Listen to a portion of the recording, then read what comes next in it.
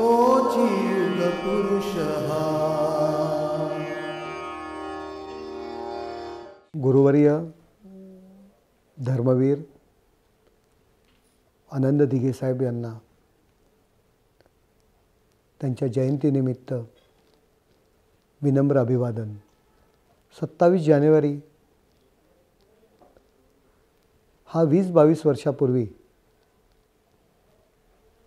आमचा एक सणच असायचा. दिघे साहेबांना भेटणं दिघेसाहेबांना पुष्पगुच्छ देणं आणि त्यांचा सत्कार करणं. त्यावेळी जीवनातील एक फार मोठा आनंदाचा क्षण असायचा. प्रचंड अशी गर्दी असायची आणि त्या गर्दीतून वाट काढत आम्ही धर्मवीर आनंदिगे साहेबांचा सत्कार वाढदिवसाच्या दिवशी करायचो. त्यांना जाऊन वीस ते बावीस वर्ष झालेली आहेत. परंतु सामाजिक कार्य करताना राजकारणात काम करताना त्यांची आठवण सतत कायम आमच्या मनात असते. त्यांनी ती आम्हाला जी शिकवण दिलेली आहे समाजसेवेची लोकांना मदत करण्याची पक्षाकरता झोकून द्यायची ही कायम आम्ही मनात ठेवलेली आहे. आणि आमच्या गुरुवर्यांनी जी दिलेली शिकवण आहे त्यांचं पालन करून आज समाजात आम्ही काम करत आहोत. अशा या आपल्या आमच्या धर्मवीर आनंद दिघे साहेबांना त्यांच्या जयंतीनिमित्त विनम्र अभिवादन. घरातील आईवडील शिवसैनिक आणि त्यामुळे त्यांचा साहेब तो आमचा साहेब झाला. स्थानिक शिवसेना शाखेत गणेश डेकोरेशनचं गणपती सजावटीचं पताका लावणं बोर्ड लिहिणं ही कामं तशी मी आठवी नववीत असल्यापासूनच करत होतो. एक वर्षी आम्ही गणपतीचं डेकोरेशन केलं होतं.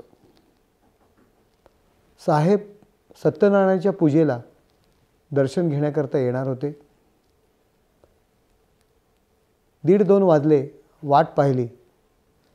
दुसऱ्या दिवशी शाळेत पेपर होता. त्यामुळे घरच्यांनी जबरदस्ती घरी घेऊन गेले. साहेब रात्री तीन वाजता आले. आणि साहेबांनी विचारलं अरे कोणी केलं डेकोरेशन? तर सांगितलं की ही सर्व म लहान लहान मुलांनी आमच्या केलं आणि आमच्या एका शिवसैनिकांनी सांगितलं की तुमची वाट बघत बसले होते सर्व मुलं. परंतु खूप लेट झाला म्हणून ती मुलं घरी गेली. साहेबांनी आम्हाला उठून आणायला सांगितलं. आणि आम्हाला उठून आणलं गेलं. साहेबांची आमची भेट झाली. साहेबांनी आम्हाला जवळ गेलं. फोटो काढायला सांगितले. ती तशी माझी पहिली भेट. नरेश म्हणून साहेब तेव्हापासून मला ओळखायला लागले.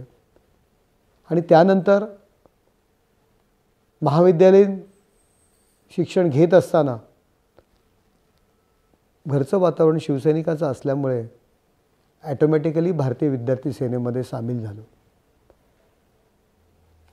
कॉलेज निवडणुका होत्या. लास्ट इयरची एक तेव्हा सी आरची निवडणूक होती. आणि त्यावेळी मी निवडणुकीला उभं राहू नये म्हणून काही जणांनी प्रेशर केला होता. राजकीय नेत्यांची ती मुलं होती. साहेबांकडे गेले. साहेबांनी आम्हाला बोलवलं आणि सांगितलं की असं असं या लोकांचं म्हणणं आहे की तू निवडणुकीला उभं राहू नये. विद्यार्थी सेनेतर्फे त्या मुलाला आम्ही पाठिंबा देतो आहे असं ह्यांचं मत आहे असं साहेबांनी सांगितलं. पण मी म्हणालो की साहेब बघा की विद्यार्थी संघटना जरी मी काम करत असलो तर विद्यार्थ्यांची मागणी आहे की मी उभं राहावं. मी एफ वाय एस वाय ती दोन्ही वर्ष मी या निवडणुकीत उभं राहतो आहे आणि निवडून येतो आहे ठीक आहे त्याला उभं राहायचं असेल त्यांनी विद्यार्थी सेनेमार्फत उभं राहावं पण मुलांची मागणी आहे आणि त्याच्यामुळे मी उभं राहणार. साहेबांनी मला ॲप्रिशिएट केलं आणि म्हणाला एवढा कॉन्फिडन्स पाहिजे आणि त्या लोकांना सांगितलं की तुम्हाला उभं राहायचं आहे तर तुम्ही उभे राहा. नरेश हा उभा राहणार. आणि मला साहेबांनी विचारलं की तू नक्की निवडून येणार? मी बोलो हो नक्की निवडून येणार. जो कॉन्फिडन्स होता माझ्यामध्ये त्या कॉन्फिडन्सला त्यांनी दाद दिली. आणि त्या निवडणुकीमध्ये मी सगळ्यात जास्त मतं घेऊन ऐंशी ते पंच्याऐंशी टक्के मतदान मुलांचं घेऊन त्या कॉलेजमध्ये निवडून आलो. साहेबांनी माझा सत्कार केला आणि ज्या लोकांनी प्रेशर आणण्याचा प्रयत्न करत होता त्यांना बोलून सांगितलं की हिंमत लागते. माझ्याशी तुमची जरी ओळख असेल तरी शेवटी नरेश माझा कार्यकर्ता आहे.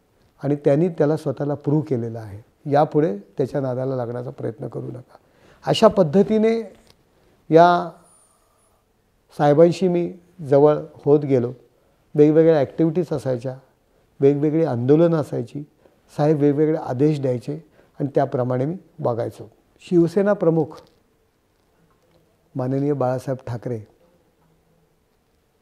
ज्याप्रमाणे आदेश द्यायचे त्याचं तंतोतंत पालन ठाण्यात व्हायचं. फार मोठा एक राजकीय विश्लेषक संपादक यांनी शिवसेनेविरुद्ध फार मोठी मोहीम शिवसेना प्रमुख माननीय बाळासाहेब ठाकरे यांच्या विरोधात फार मोठी मोहीम महाराष्ट्रात सुरू केली होती. बाळासाहेबांवरती टीका करणं आणि शिवसेनेवर टीका करणं हा एकमेव उद्योग त्यांनी सुरू केला होता. आणि त्यावेळी त्या संपादकाच्या विरुद्ध आंदोलन करण्याचा आदेश अप्रत्यक्षरित्या शिवसेनेने आणि बाळासाहेबांनी दिला होता. कुठलीही गोष्ट जरी मुंबईत बाळासाहेबांनी आदेश दिला तर पहिलं प्रत्युत्तर किंवा पहिली प्रतिक्रिया ही ठाण्यात निघायची. आणि त्या संपादकाचा ठाण्यात कार्यक्रम होता मराठी ग्रंथसंग्रहालय येथे बाळासाहेबांचा आदेश हा आम्ही अंतिम मानायचो. दिघे साहेबांना भेटलो आणि प्लॅन ऑफ ॲक्शन ठरलं. साहेब म्हणाले तुम्ही करणार? बोलो हो आम्ही करणार. आणि त्या संपादकाला ठाण्यामध्ये चोख प्रत्युत्तर त्याची सभा उधळण्याचं काम त्या ठिकाणी आम्ही माझ्या नेतृत्वाखाली केलं. शक्य नव्हतं प्रचंड असा पोलीस बंदोबस्त होता. शंभर दीडशे पोलीस पोलिसांच्या गाड्या आणि त्यामध्ये त्या संपादकाची सभा मराठी ग्रंथसंग्रहालय ते उधळली गेली. साहेबांना विश्वास नव्हता की ही मुलं करतील. त्यामुळे साहेब पुण्याला निघाले होते नवरात्राचं डेकोरेशन ठरवण्याकरता. परंतु ज्यावेळी साहेबांना हे कळलं साहेब लोणावळ्यावरून परत आले तात्काळ पोलीस स्टेशन गाठलं आम्हाला धीर दिला आणि अभिमानाने सांगू लागले की हे माझं ठाणे आहे ही माझी मुलं आहेत. ह्याला म्हणतात नेत्याचा मोठेपणा आणि नेत्याचं प्रेम. हे आम्ही धर्मवीर आनंदिगे साहेबांकडनं हे मला मिळालेलं आहे. चार चौघांमध्ये सगळ्यांना ओरडून ओरडून सांगत होते ही माझी मुलं हे माझं ठाणं आहे आणि हे माझी प्रतिक्रिया. ही माझी मुलांनी ह्या सगळ्या गोष्टी केलेल्या आहेत मला त्याचा अभिमान आहे. असं चार चौघात सांगणं हे फार मोठं असा कौतुक आमच्या दृष्टीने होतं. Shah.